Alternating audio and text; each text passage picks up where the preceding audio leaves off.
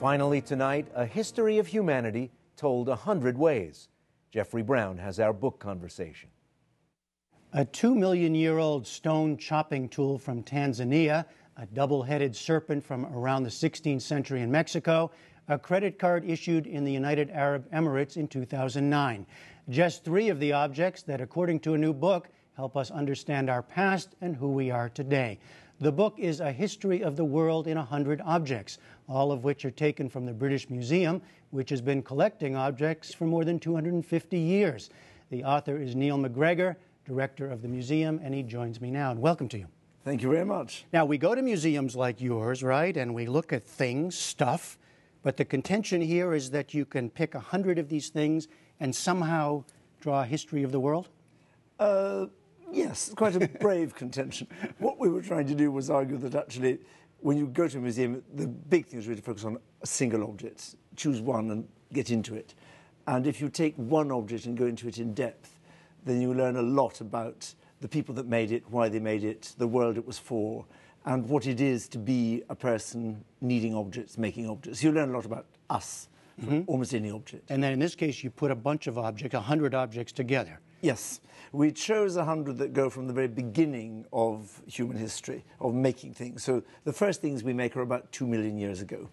And we start there, and we wanted to keep going round the world at different moments in history up till today. So to see what, what have we made and why have we made it? That's the interesting thing. Why have we made these things anywhere in the world? And what do they tell us about us? Well, tell me about that first one, that earliest one. Right? This is just about the oldest thing that anybody like us made, made about nearly two million years ago in Tanzania in East Africa. And it looks just like a cobble, but in fact, the top ridge there has been chipped away very carefully to give a sharp edge. And these are the tools. This is the Swiss Army knife of the Stone Age. mm-hmm. And it's this kind of tool that lets us all leave Africa and live everywhere because this lets you strip the meat off the animals to get more protein, break the bones, get the marrow. Then you can use it to take the branches off the trees, skin the hides. This is what lets us become mm. us. As become you say in the beginning, it allows people to, to eat better, to grow better, to develop better brain, everything, right? Everything. Everything yeah. comes from that. Yeah. And we, having made this thing, we now depend on it.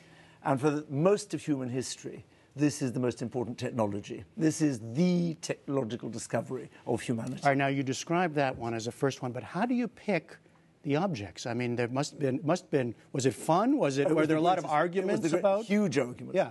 Uh, it was the greatest fun ever because the idea was that we would spin the world and say what's going on around uh, 2,000 years ago, 1,000 years ago.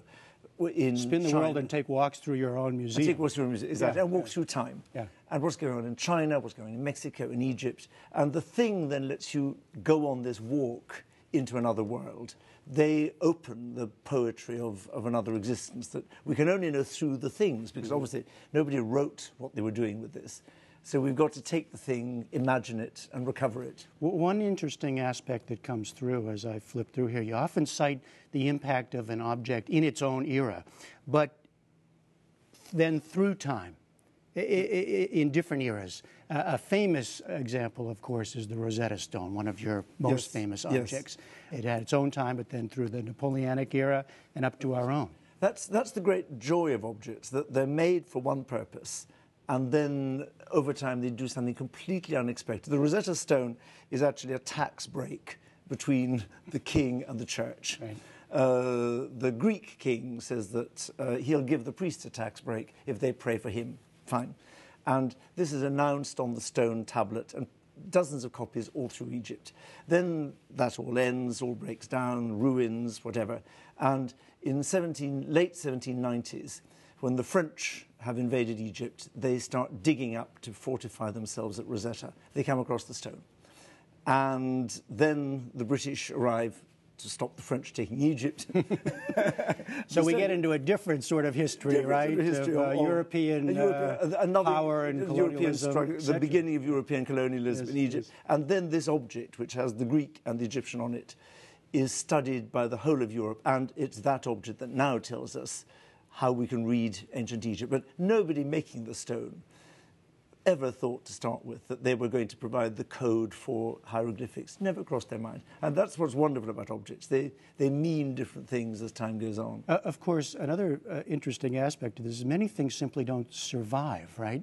So we don't know about some of the missing pieces no, of history. That's the, and obviously, we only have bits and pieces of the story. And the, the main things that don't survive, of course, are textiles, or things made of wood in wet climates. Right. So, I notice when you get to a piece of clothing, you say something about it. We're halfway through. We're a million years into human history. And this is our first. It's the cloth, first piece of cloth that yeah. survives. Yeah, yeah. Um, so, it, and of course, paper doesn't survive very often, and, and so, so it's very patchy.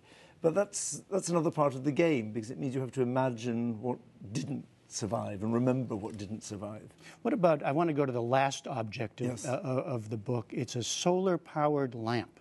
Now, you write here that it was hard to decide what should be the last thing, right? Because now yes. you're up to our own era. Yeah.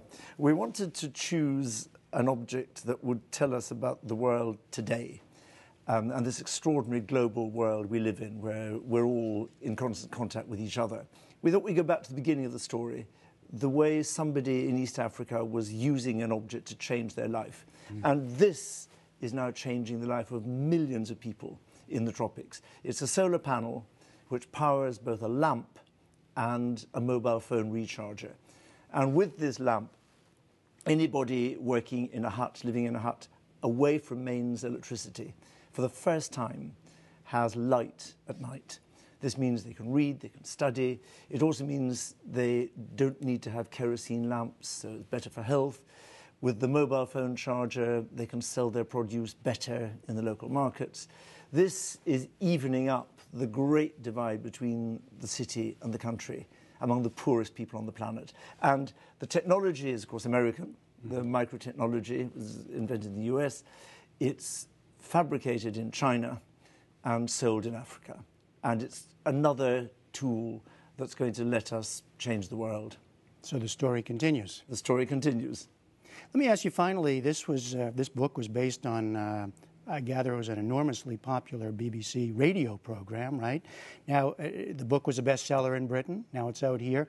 What do you think it is that um, grabs people so much about uh, looking at things like this? I think that the, the, the point is that a single object lets you explore a world that you want to know about.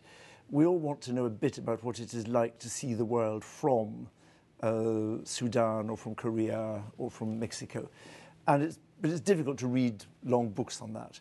A thing lets you journey immediately into another world. And it's a thing made by somebody like you, with hands like yours, a mind like yours.